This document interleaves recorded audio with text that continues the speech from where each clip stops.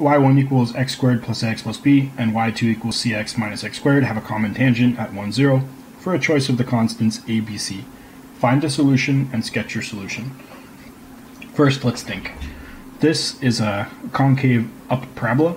This is a concave down parabola. We know that because this second degree polynomial, second order polynomial, leading coefficient is positive here, leading coefficient is negative here.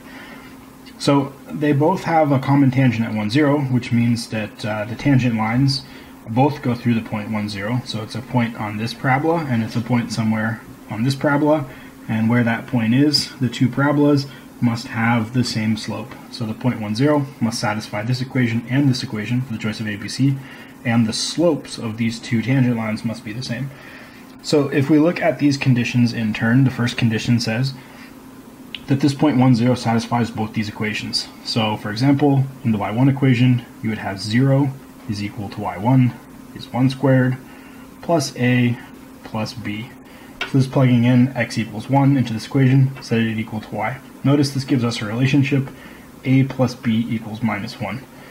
Then in the y2 equation, a similar type of condition holds. 0 equals y2 equals c uh, times 1 minus x squared, which is just 1 squared, which is 1. So then we get right away another relationship, c equals 1, and uh, one of our constants is found. Then we have to find another relationship because we have three unknowns, so we need three equations at least in order to find a, b, and c. So uh, the other condition we know is that y1 and y2 have the same slope at this point. That means that y1 prime equals y2 prime at 1, 0. This prime is differentiation with respect to x.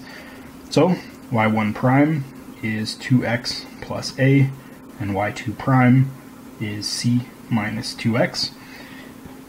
And then this must hold particularly at x equals to 1. So 2 plus a equals c minus 2. Bring this 2 to this side and a to this side. 4 is equal to c minus a. Then we know c, so we put it in here. 4 is equal to 1 minus a. Bring a to this side and the minus 4 to this side. a equals minus 3. So we know a now. So we have a and we have c.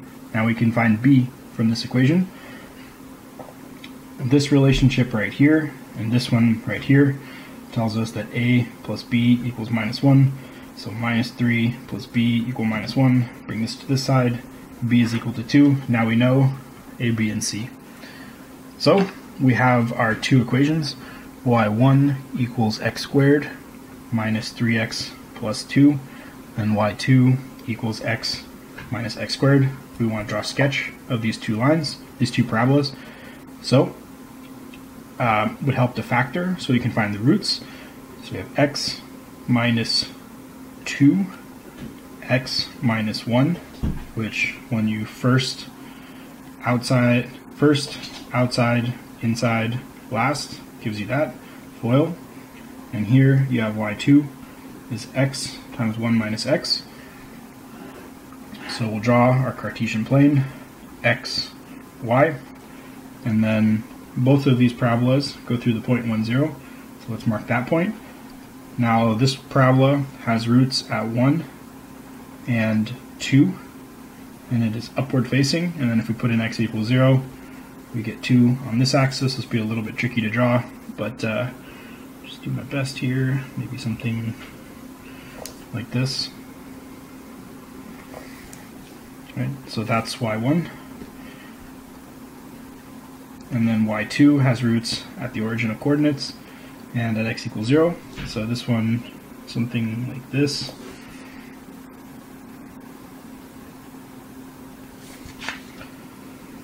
Okay, so that's y2.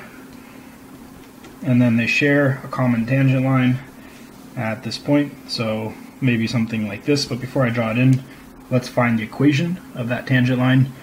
So the general equation of a tangent line will be y minus y naught equals m x minus x naught.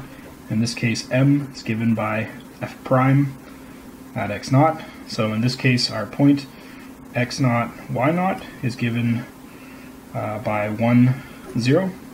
So here we have y minus 0 equals, now we have to find the derivative uh, by using either one of these two derivatives, y1 and y2, at, uh, at 1, 0. So let's just take the derivative of this one. So we have y1 prime is equal to 2x minus 3, evaluated at x equals uh, 1 is equal to minus 1. So this is our, our slope here. y1 prime is equal to minus 1. So minus 1 x uh, minus 1. So we get y tangent line is equal to minus x plus 1. So the y-intercept is 1. This is 2 here. So this 1 here. And the slope is minus 1. Goes through this point. So something like that.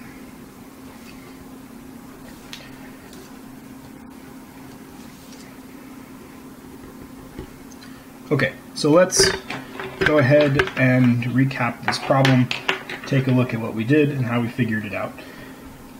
So in this problem, we had uh, three unknown constants, a, b, and c. And we know that this is a parabola, it's concave up, and this is a parabola that's concave down. Because this one has a leading order coefficient that's positive, so it's got to be concave up. This one has a leading order coefficient that's negative, so it has to be concave down. Then they have a common tangent line at 1, 0 for a choice of the constants a, b, and c. So we have basically two conditions that must be satisfied. Since they share a common tangent line at this point 1, 0, both y1 and y2 must go through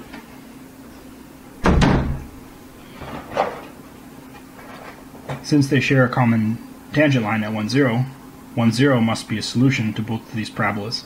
So that's our condition 1. The second condition is that y1 and y2 have to have the same slope at 1, 0, which means that their derivatives evaluated at 1, 0 must be the same. So we take 1, 0 and we plug it in to both parabolas, and this gives us two conditions. The first condition is a relation between a and b, a plus b equals negative 1. The second actually gives us the value of c.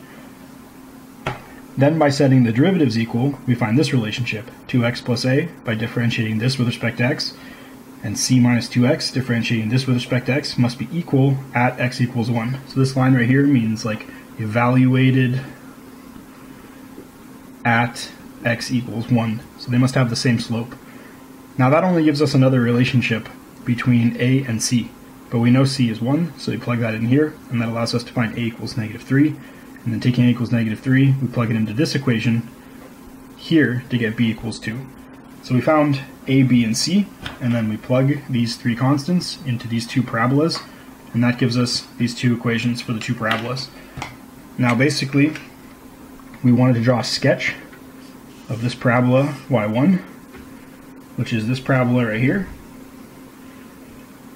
And to do that, we needed to find the roots. So we factored it to find the roots, which are at 1 and 2.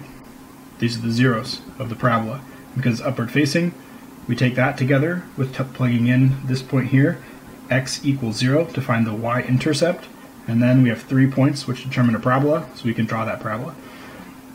Then we want to draw a sketch of this parabola, y2, so we factor it, and then we have roots at 0 and at 1, so those roots, 0 and 1, and then we know it's a downward facing parabola, and the y-intercept equal the x-intercept equals 0, so that's our sketch.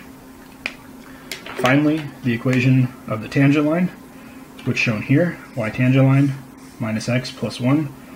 To find this tangent line, we took uh, the derivative of y1, evaluated at x equals 1. We could have also taken the derivative of y2 at x equals 1, and we would have got the same, the slope y equals negative 1.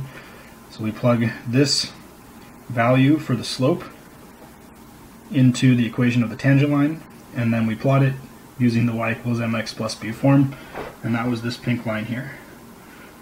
So we basically have a family of tangent lines to the blue curve, y1, that look like this. And we have another family of tangent lines for the yellow curve that look like this. But at 1, 0, they share a common tangent line. So this line is tangent to both y1 and y2 at 1, 0. And it is a unique solution in this case. So that's our problem. And this is a sketch of the solution to the problem.